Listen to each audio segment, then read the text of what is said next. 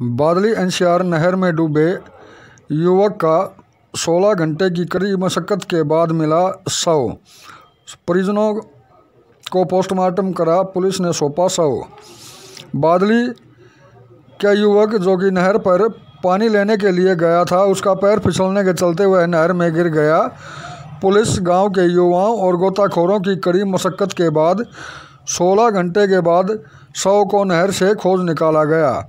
मामले की जानकारी देते हुए थाना प्रभारी जितेंद्र ने बताया कि गाँव बादली का युवक जितेंद्र गुरुवार शाम करीब नौ बजे नहर पर लगे नलकूप से पानी लेने के लिए गया था। उसके साथ उसके अन्य साथी भी थे। वह एनसीआर नहर में पैर फिसलने से गिर गया। उसकी काफ़ी खोज रात को भी की गई, लेकिन रात होने के कारण शव नहीं मिल पाया। उसके बाद उसकी अगले दिन सुबह से ही खोज जारी की गई, जो कि काफ़ी मशक्क़त के बाद 16 घंटे बाद शव नहर में पाया गया। शव का पोस्टमार्टम करा आवश्यक कानूनी कार्रवाई के बाद परिजनों को सौंप दिया गया।